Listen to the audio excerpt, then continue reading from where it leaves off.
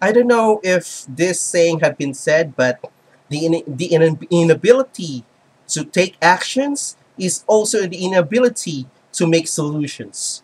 This is what is happening in Ferguson right now.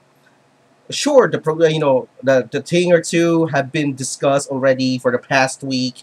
We know that Michael Brown was you know was injustly shot to death by an officer, but my beef is this is already in second week, and and yet so far we don't have anything. We don't have anything from the city mayor to the chief of police to the nearby city mayors to the governor and to the nearby state governors that surrounds whatever state is Ferguson is.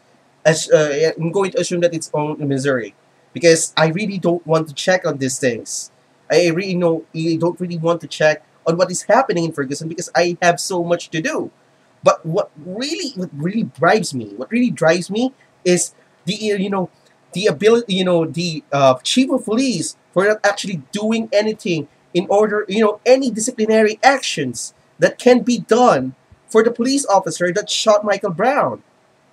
I don't want I don't want to dive into this who shot eh, who's right who's wrong. But the you know but the uh, but the thing is I don't you know the thing is the higher ups must act on this.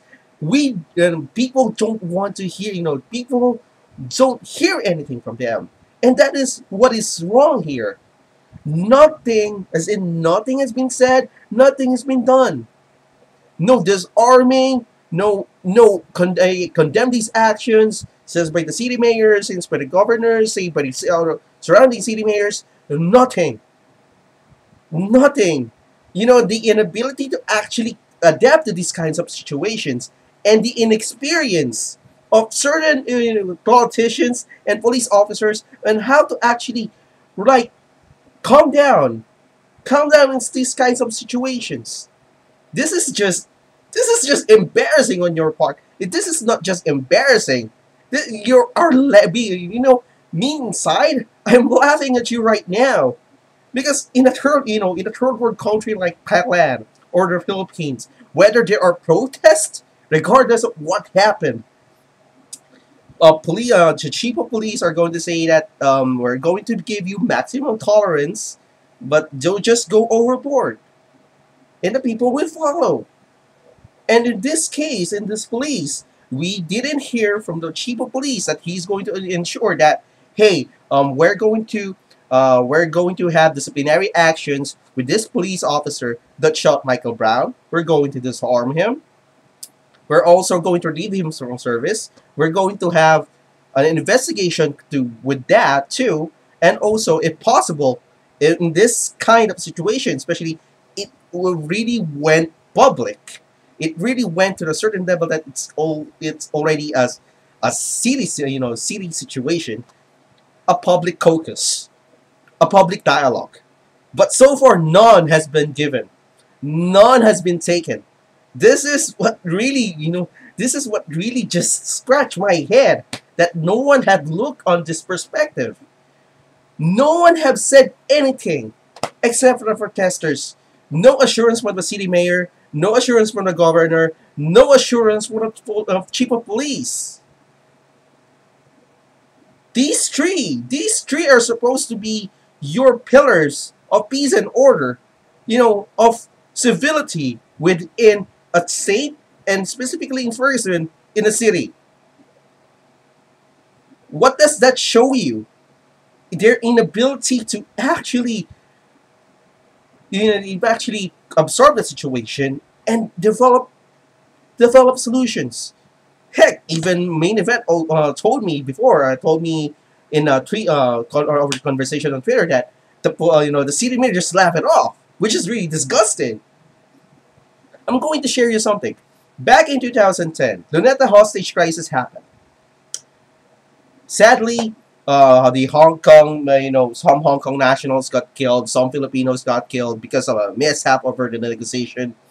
The hostage, you know, the hostage taker went went amok eh, because his his needs wasn't being addressed. He wants to be back in service, and Mayor Alfredo Lim said that uh, you know back in the day, back in that, uh, back in that year, 2000, uh, 2010, city mayor, the city mayor back then was Mr. Alfredo Lim, a former senator.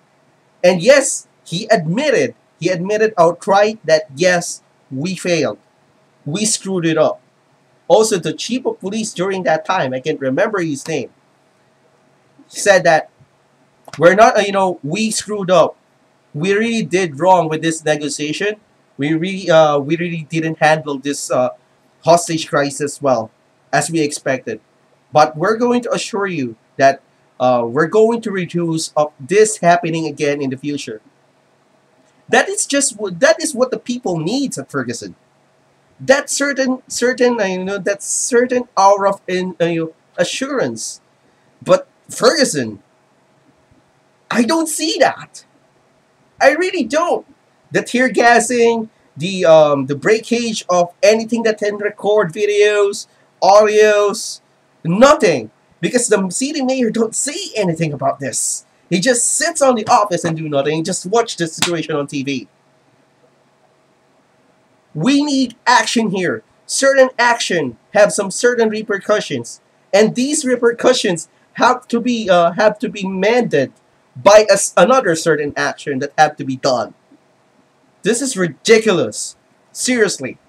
If anything, if you are in Ferguson, if you're nearby Ferguson, please ask your mayor, ask your mayors, ask your city mayors that hey, we need to help Ferguson. Do not send your people there. Send send the police force there and actually make the city mayors near Ferguson to talk to this lazy mayor that don't that really don't do anything for his people. Do you get what I'm trying to convey here? Please, please, as in please, if anything, do this. Do this for your own sake. Because right now, I you know, I live in a third world country. And goodness, we have tons of experience when it comes to this. My goodness. Please, do the necessary actions that will mend these certain repercussions. That's all being asked. I am Homer. And you know what? I think I'm going to look back on the certain protests that went wrong. Just because the certain inability to, uh, inability for certain big wigs in the gov in the government and the police force results into this. Just embarrassing. Really it is. See you later.